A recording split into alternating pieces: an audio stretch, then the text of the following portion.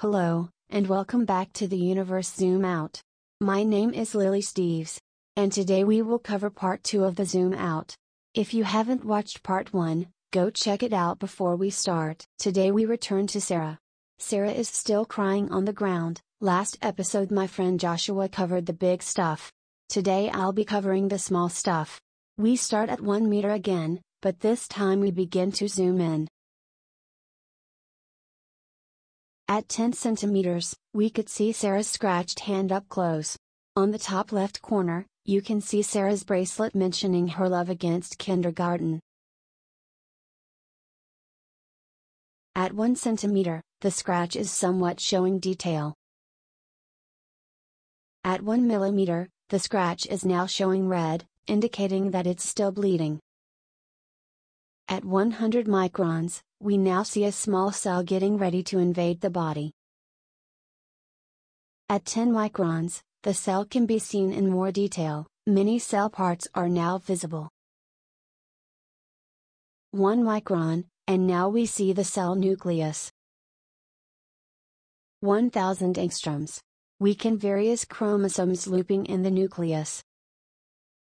100 angstroms, the chromosomes reveal a world full of DNA molecules. 10 angstroms, now we could see the atoms that build the DNA molecules. 1 angstrom, we come face to face of the carbon atom and the electron fields inside. 1000 picometers, and the only thing we see now is thousands of electrons swarming everywhere around us. 100 picometers, and now we start seeing the carbon nucleus as a tiny pink dot. 10 picometers, the nucleus is easier to see now. A carbon nucleus has 6 protons and 6 neutrons. If one of these particles were lost, the atom can lose its mass. 1 picometer, and now the only thing we see is the nucleus.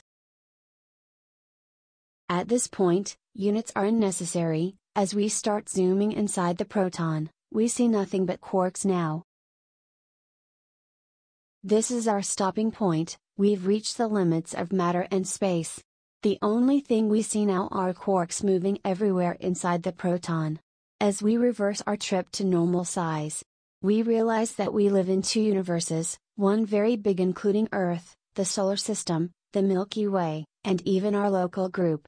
Another very small world showing cells, molecules, atoms, protons, and even the tiny quarks. Goodbye, for now.